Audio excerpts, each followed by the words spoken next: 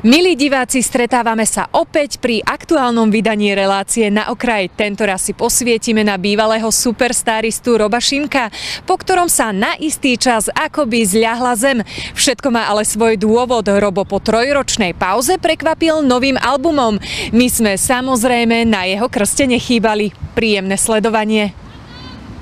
Robo Šimko sa zviditeľnil vďaka populárnej speváckej súťaži. Nevydal sa však na kariéru solového speváka, ale pôsobí v kapele Masriot. Album s názvom 3 je tak, ako prezrádza už jeho meno, tretí v poradí, ktorý vyšiel z pera mladých hudobníkov. Tí sa podľa vlastných slov konečne pohli z miesta a naplno prejavili svoju rockerskú dušu. Je to, je to album dravejší, tvrdší, reskejší, e, taký viacej, čo sa týka toho vyjadrenia svojho nejakého názoru priamočiarejší. Nechodíme tak okolo horúcej kaša, ako kedysi Ježiš, ale normálne ideme priamo na to. A No taký jednoducho žijúši. Nechali sme to dozrieť hlavne tie piesne, vieš, lebo není dobre to nejak unáhľovať a tak, aby to nebolo kontraproduktívne. Tri roky vznikal album, album sa volá 3, je tretí v poradí, trojka je tvoje šťastné číslo? Uh, trojka je také veľmi pekné číslo, asi sa rozumieme, ale pre mňa už neaktuálne, no.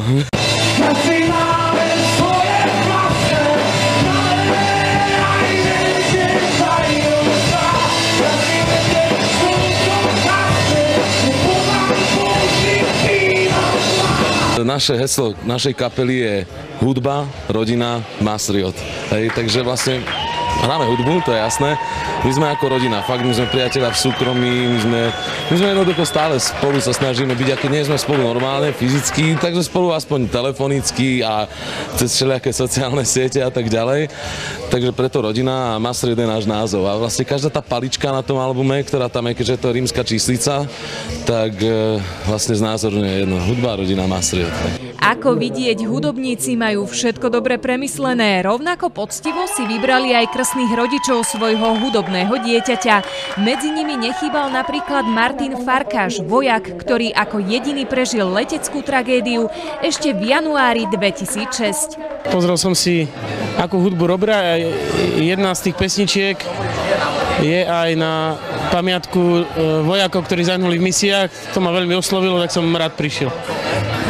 Uh, zmenil sa vám život po tých tragických udalostiach?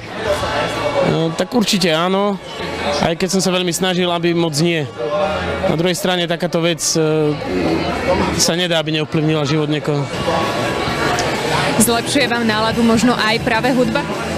Áno, hudbu mám rád, počúvam ju, aj keď nie som fanúšik alebo nemám záľubu v konkrétnom žánre ani v konkrétnych kapelách, takže počúvam ju bežne. Je to taký výbušný typ rockera, ktorý má aj srdce. Skutočne tie pesničky sú skutočne výborné, pretože na prvé počutie máte pocit, že, že ju už poznáte, ale pritom sú to originálne pesničky samozrejme.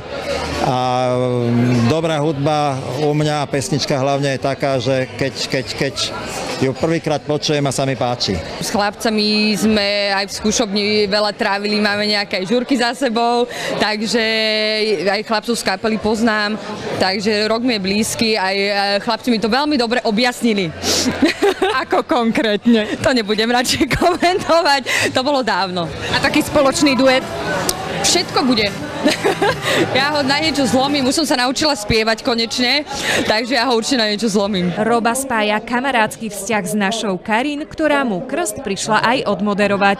Chalani teraz, keď ma oslovili, tak ja som to zobrala normálne ako, že ich staršia sestra má tu povinnosť e, v tom dobrom slova zmysle im takýmto spôsobom pomôcť a samozrejme e, kúsok toho úvodného slova, pretože to slovo tu dnes nie je dôležité, tu bude hrať prím tá hudba, Robová aj celej kapely Masriot, takže toho úvodného slova sa veľmi rada chopím. A aj počúvaš kapelu Mastriot? Áno, ja poznám ich pesničky aj vďaka tomu teda, že spolu so mnou účinkujú v rámci toho koncertu, ale chalani boli už aj párkrát hostiami v našom relaxe a vždy mi venovali z lásky nejaké to CDčko, takže si ich rada vypočujem hlavne v aute, keď mám pred sebou nejakú dlhšiu trasu.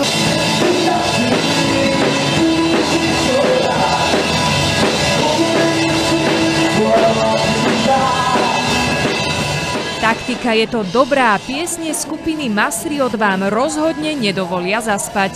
Keďže je to iba tretí album, hej, a my ešte ďalších 30 plánujeme minimálne, no aj 33, hej. Ale ako moje šťastné číslo je 15, takže keby bolo ich iba 15, ale veľmi dobrých a napríklad by sme sa stali legendami, čo by som bral, hej, ja, tak ako, dobre, okej. Okay.